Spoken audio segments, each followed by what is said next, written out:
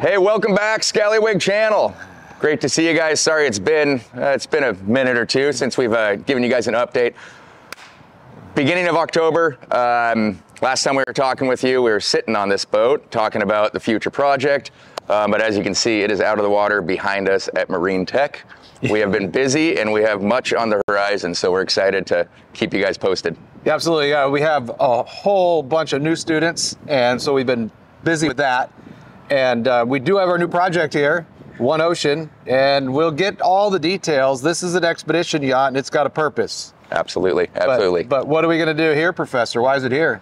Oh, so much, so much. I mean, authentic learning in its finest form, right? But we are definitely going to be working kind of all the systems on this thing mechanical, electrical, and otherwise.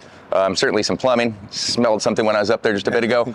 Um, but honestly, for any of you viewers that are interested in, you know, going offshore, or certainly those of you who are thinking about refitting an offshore yacht, this is this is what you want to be watching. So, you know, Yes. definitely check out our content as we're putting Oh. it out because it's going to be step by step through the whole process. What we do, decisions we make, cost, Costs. cost overrun. Uh huh.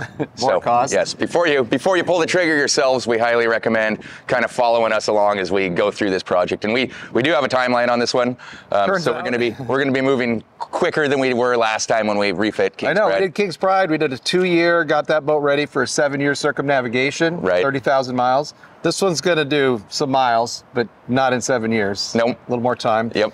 We'll get we'll get the captain up here and talk about that. But Absolutely. it's all Skagit Valley College. They took it out. Uh, we they buffed. I helped. They put the graphics on it.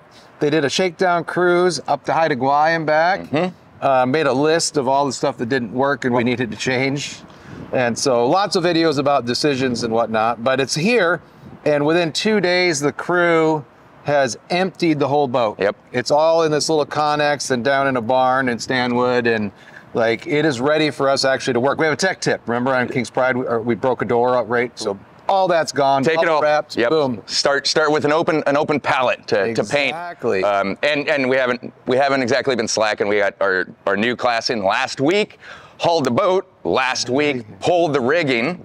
Um, so our, our, our rigging class got to go down help out with hauling hauling the rig off, and then actually just day before yes no yesterday um, we went and did a tour at the rigging shop with students and went and inspected all the rigging. And I got to say I haven't even gotten a chance to tell you. It needs little- a little I think it is a little hungry, especially up top. I was seeing some stuff that is concerning if you're taking it for a uh, extended cruise. That's what we're Mhm. talking Yeah. about. Um, so that's definitely definitely a thing that we got to do. But we also have Lady M. We're going to finish. She's sitting right over here. Yep. Just need exhaust and sea trials.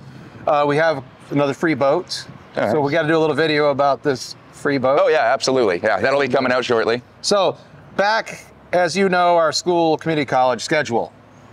Weekly videos as much as we can. We're Yep. going to document and film everything we can. We really thank you for watching, following along. Leave us some comments. Let us know what you think about this boat, and uh, we'll get you a lot, lot more details about it. But here it is. It's ready to go. It's sitting out back, and we are super excited. This is going to be an awesome project. We guarantee it. So That's right. stay tuned. Stay tuned.